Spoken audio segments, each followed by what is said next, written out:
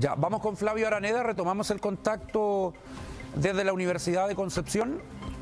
Flavio, ¿cómo te va? Buenas tardes, te saludo. Mira, escuchamos algunas declaraciones, pero queremos el contexto de esto tan importante como lo es la telemedicina. Hola Francisco, ¿cómo estás? Sí, eh, estuvimos en el lanzamiento, ¿cierto?, del programa de la telemedicina y telesalud de la región del Biobío, acá en la Facultad de Medicina de la Universidad de Concepción, donde asistieron las autoridades desde el gobernador regional, consejeros y consejeras regionales, el Ceremi de Salud, el Ceremi de Ciencias de la zona de la macrozona sur, el rector de la Universidad de Concepción y también autoridades de la comunidad universitaria, también el rector de la Universidad de la Santísima Concepción, eh, que participaron, ¿cierto?, de este lanzamiento del programa de telemedicina salud, donde la Universidad de Concepción es pionero en este programa hace más de 15 años en su unidad de telemedicina de la Facultad de Medicina. En la instancia, ¿cierto?, escuchamos algunas declaraciones eh, y acerca de cómo se va a emplear este programa durante los próximos tres años.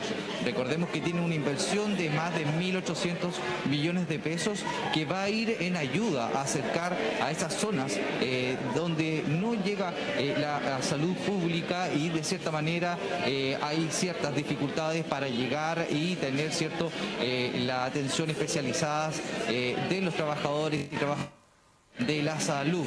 Se comentaba, Francisco, que la proyección de ayuda para en este programa es acerca del 30% de la población en la región del Biobío. De esta manera hay es un importante avance en la tecnología de la salud de nuestra región. Sí, la telemedicina existe desde hace tiempo. Eh, incluso intervenciones quirúrgicas seguían a través de la telemedicina, eh, si no me equivoco. Eh, es, una innovación muy, pero muy importante.